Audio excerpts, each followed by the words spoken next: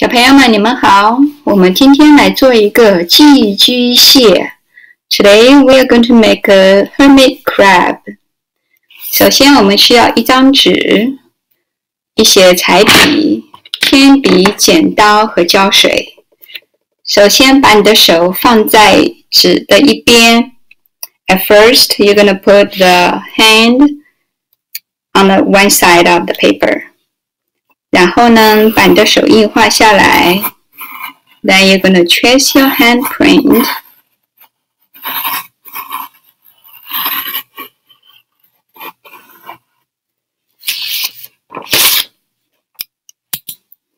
然后你可以用彩笔，红色的笔在上面画上颜色。你也可以用 paint. You can use a red marker, or you can use paint, or you can do like mine. Use a handprint, put on your hand and make a handprint. And then let it dry and then cut out. 你也可以用颜料印出你的手印，把它剪下来，等它干了以后再剪下来。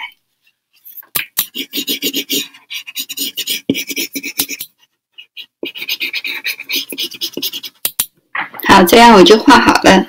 You're gonna color like this. And then you can ask your parents to cut up for you if you cannot. 你可以让爸爸妈妈帮你剪下来，你也可以自己剪。好，这样子我就剪好了。好，我们在纸的另外一边呢，要用黑色的彩笔来画它的壳。We're going to use a black marker to draw the crab.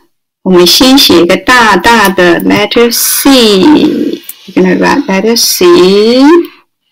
好，然后呢，再沿着这边往上，then go up，然后再往下，then go down，then make another circle。好，就这样子。Then you're gonna make the mouth of the snail，像这样。 后我们再来装饰一下它的壳。We're gonna make a little bit looking old。可以用不同颜色的笔随便这样画就可以了。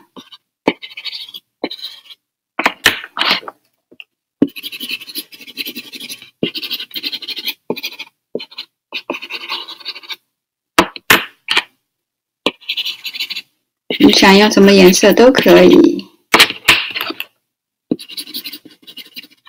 好，我们再把它剪下来。Then you're gonna cut it out。在剪的时候呢，我们不要剪中间，只要剪外面的。We only cut the outline, not inside。到这里。这就剪下来了。现在我们需要放一些胶水在你的大拇指上面。We're gonna put little glue on the thumb。好，再把这个放上去，它的口呢要粘在这里。然后再剪下来这样一个小小的纸片。Then you're gonna cut little pieces of paper。然后做画它的。触须。Now you're gonna draw two red lines and then two eyes on the top. 两只眼睛在上面，再画出它的眼珠。你也可以把这剪出来，也可以不用剪。You also can cut out, or you don't need to. 把胶水放在下面。好，再把这个粘在它的头上面，这样就做好了。